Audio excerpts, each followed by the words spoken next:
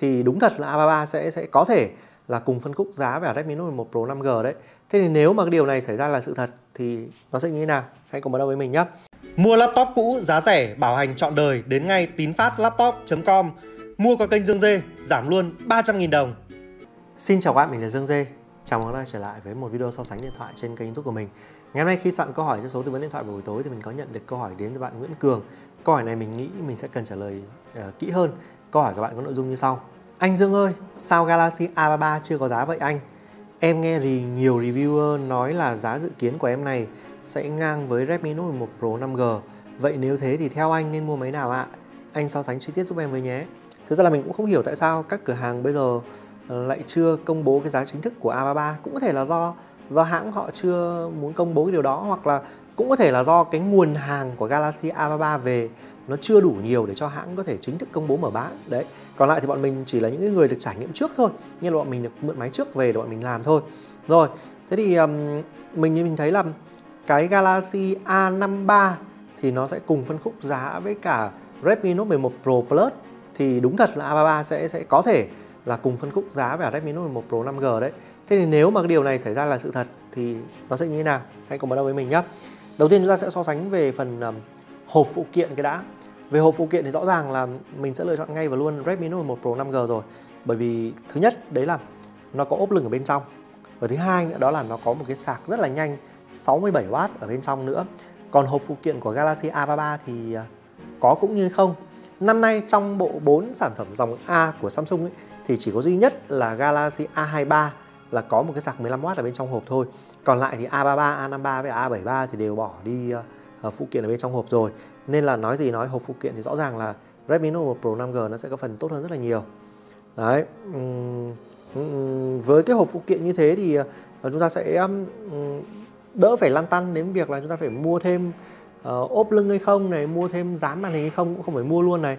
Và cũng không cần phải mua thêm củ sạc thậm chí mình nói thật chứ cái củ sạc 67W ấy, mà ra thị trường nó mua ấy là rất đắt đấy nhá đấy bạn cần phải chú ý cái điều đó thế còn về phần thiết kế thì sao thiết kế thì mình cũng sẽ lựa chọn Redmi Note 11 Pro 5G bởi vì là cái Galaxy A33 nó bị một số vấn đề như này này. Thứ nhất, đấy là nó là thiết kế mặt trước là màn hình giọt nước, đấy là thiết kế khá là cũ rồi. Còn Redmi Note 11 Pro thì nó là thiết kế màn hình đục lỗ, cũng là một cái thiết kế màn hình mới hơn. Tiếp tục nữa, đấy là cái cụm camera ở phía sau của Galaxy A33 thì nó lại đồng màu với cả cái phần mặt lưng, nên thành ra là mình là người có hiệu ứng sợ lỗ, nên thành ra là mình không thích cái điều này lắm. Và cái phần viền dưới của Galaxy A33 thì nó cũng sẽ dày hơn so với Redmi Note 11 Pro. Và bonus thêm một điểm nữa, đấy là cái mặt lưng của A33 thì nó là mặt lưng nhựa. Trong cái đó thì Redmi Note 11 Pro 5G thì nó là mặt lưng kính. Đấy đấy là những sự khác biệt để cho mình có thể lựa chọn ngay và luôn. Redmi Note 11 Pro 5G về phần thiết kế thay vì lựa chọn Galaxy A33 về phần ờ, màn hình thì cả hai chiếc điện thoại này đều có màn hình mình đánh giá là tương đối ổn đấy. Tuy nhiên nếu mà để lựa chọn một cái màn hình đẹp hơn thì mình sẽ lựa chọn màn hình của Redmi Note 11 Pro. Bởi vì thứ nhất nó có một cái màn hình kích thước lớn hơn đấy là 6,67 inch thay vì 6,4 inch. Thứ hai nữa đó là nó có cái màn hình tần số quét cao hơn đấy là 120Hz so với 90Hz cả hai cái sổ này thì đều có tấm nền là Super AMOLED cả thôi đều có kính cường lực 5 nhưng mà nếu các bạn muốn có được một cái màn hình mà nó có thiên hướng mượt mà hơn cũng như là cái độ giải trí của nó là tốt hơn ấy, thì bạn sẽ lựa chọn Redmi Note 1 Pro 5G về phần hiệu năng cả hai chiếc điện thoại này mình đều đánh giá là có hiệu năng không phải mạnh mẽ ở trong cái tầm giá của nó. Nếu như không muốn nói là cả hai chiếc điện thoại này đều gây thất vọng về phần hiệu năng nhưng gây thất vọng hơn thì là Samsung Galaxy A33 với con chip Exynos 1280 con chip này thì mặc dù là tiến trình sản xuất rất là tiên tiến đấy 5 nanomet đấy, nhưng mà thậm chí có thể hiện nó còn không bằng con chip Snapdragon 695 5G của Redmi Note 1 Pro 5G vậy nên là về mặt hiệu năng thì mình sẽ lựa chọn Redmi Note 1 Pro 5G thế còn về camera thì sao? Camera thì mình thấy là cả hai dòng này có một camera rất là bình thường, nhưng mà thể hiện nhỉnh hơn lại là Galaxy A33 đấy nhá. Còn về pin thì cả hai chiếc điện thoại đều có viên pin là 5000 mAh. Tuy nhiên là Redmi Note 1 Pro 5G thì nó lại có một cái sạc nó nhanh hơn rất là nhiều. Đó. Rồi, thế còn về các yếu tố khác thì sao?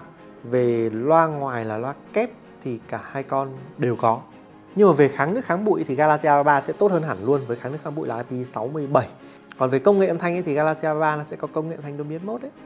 Thế còn về ờ, thương hiệu thì sao? Thương hiệu thì mình sẽ lựa chọn Samsung.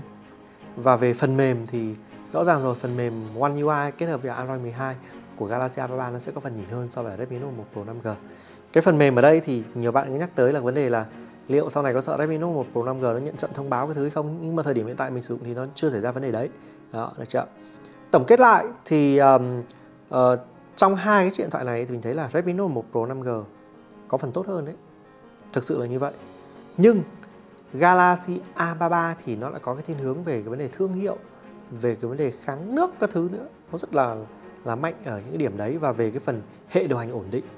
Thì không biết là các bạn sẽ ưu tiên cái nào hơn? Có thể lại comment cho mình biết nhé và hiện tại thì các bạn có thể tham khảo qua giá bán của bộ đôi này tại website của Clickbuy. Clickbuy là đơn vị phân phối chính hãng những cái dòng sản phẩm nhiều là Xiaomi hay là Samsung rồi các bạn rất nhiều vì đã dành nhiều thời gian theo dõi video của Dương Dê. Còn bây giờ thì xin chào và hẹn gặp lại. Bye bye.